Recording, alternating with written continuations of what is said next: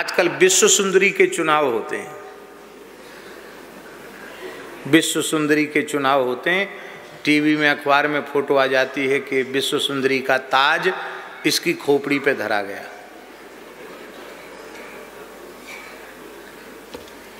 इन विश्व सुंदरी का खिताब देने वालों को बाबा मलुकदास जी से प्रार्थना करनी चाहिए कि हमको बताओ, हम चुनाव कैसे करें। श्री मलुकदास जी कहते हैं, विश्व सुंदरी कौन है? मलूक सुमाता सुंदरी। मलूक सुमाता सुंदरी। जहाँ भक्त अवतार, बिना भक्त बांझे भई। जन्मी खरकतवार।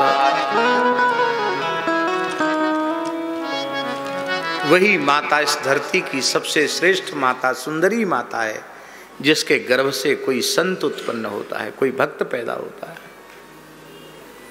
यदि उसने भक्त को उत्पन्न नहीं किया तो फक्कड़ी भाषा में मलुकदास जी कहते हैं उसने मनुष्य पैदा किए, उसने गधे पैदा किए। जनमी खर खर मने गधे। जनमी खर कतवार।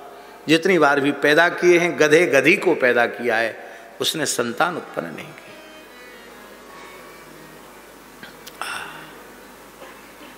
इसलिए बहनी बेटा, हरि को भजियो, भगवान का भजन करो। हम लोग सत्संग कर रहे हैं। कोई हँसी खेल नहीं, कोई तमाशा नहीं। इस सत्संग में हमें क्या लेना है? हमें अपने आदर्श परिवार का निर्माण करना है। क्या करना है? आदर्श परिवार।